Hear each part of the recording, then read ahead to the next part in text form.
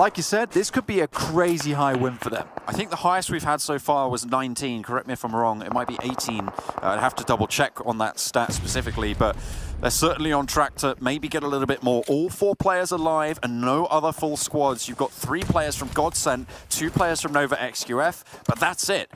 Now, there's a potential of seven kills still left in this lobby for Bigetron, but Jimmy takes away Pow. So that's Aerowolf Limax now out going down in fifth.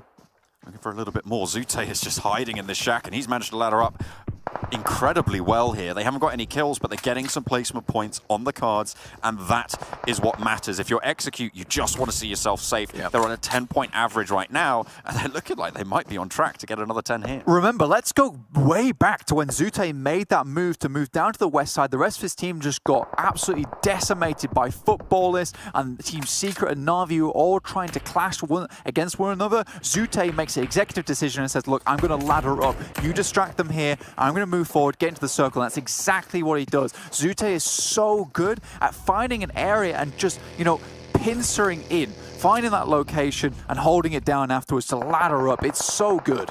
Bigetron are 31 points behind Futbolist right now on the tables. And if they're able to close it out here, if they won it right now, they would be ex exactly even and lose on the... Uh, it's not the kills anymore, is it? It's chicken dinners. Chicken so, dinners. Uh, in fact, they would be uh, tied even and then go to placements. So I think they would actually win it out if it did go to placements there. We'll have to double check on the numbers. But if they get another kill, that would see them into first place. We'll see what more they can do because at the moment Paraboy is doing his best to take all of those points away from Bigetron and into Nova XQF's pocket. Nova XQF, remember this is an important game for them.